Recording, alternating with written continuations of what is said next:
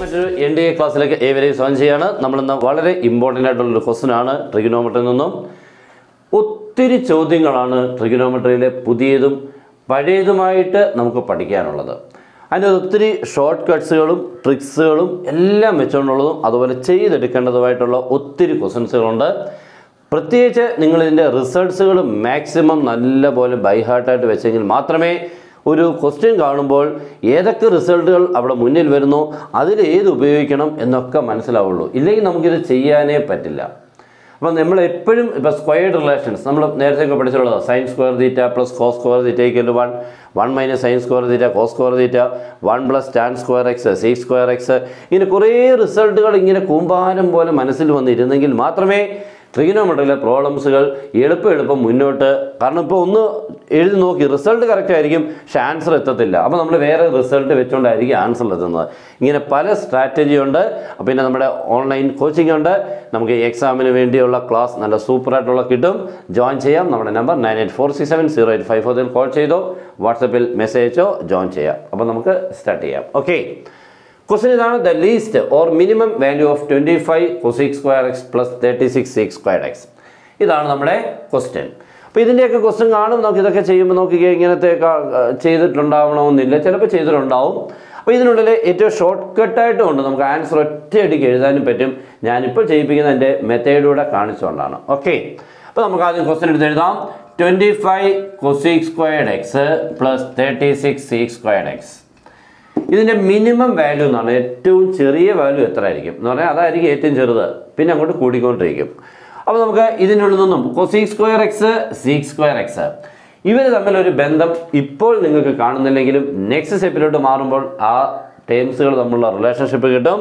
That is twenty five into cosec square എക്സിനെ നമുക്ക് one plus cot squared x എന്ന് എഴുതാം. അതുപോലെ thirty six into sec square എക്സിനെ one plus tan squared x എന്ന് എഴുതാം. Okay ആണല്ലോ? അപ്പോൾ നമുക്ക് ഇങ്ങനെ അങ്ങോട്ട് കിട്ടി.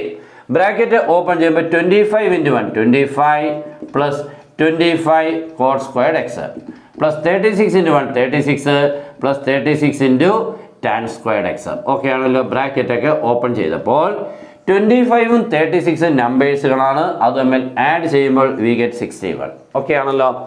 പിന്നുള്ള റിമൈനിങ് ടേംസുകൾ എന്ന് പറഞ്ഞാൽ twenty five cot squared x plus thirty six tan squared x എന്നാണ്.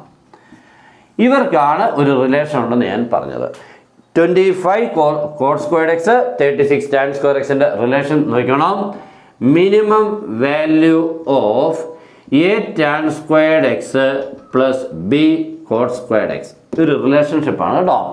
A tan squared x plus b cot squared എക്സിന്റെ ഏറ്റവും മിനിമം വാല്യൂ എന്ന് പറഞ്ഞാൽ two into root of a into b എന്നാണ്. ഓക്കെ ഇതാണ് അതിന്റെ വാല്യൂ ഇവിടെ നോക്കിക്കേ.